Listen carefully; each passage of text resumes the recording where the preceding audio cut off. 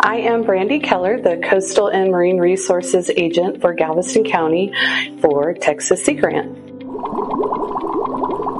Uh, one really fun thing that we had was the Dolphin Challenge part of the National Ocean Science Bowl. These are competitions that happen around the United States, and it's a really fun competition for high school students, but it's pretty serious too. Uh, really test their knowledge on uh, the ocean sciences, geology, um, a lot of other different topics, but also it's allowing them to practice their um, their leadership skills. But even hearing some of these questions, you, you have to respect the kids' knowledge because it goes well over a lot of adult uh, heads.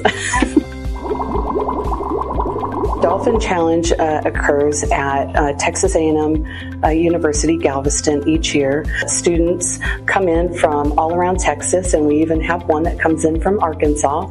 A minimum of eight teams will compete, and it's really done by bracket style in the afternoon. And so by the uh, end of that Saturday, there is a winner. It takes a lot of people uh, to come together to make that happen, and it's really fun seeing them compete against each other and then um, the excitement that they have when they win.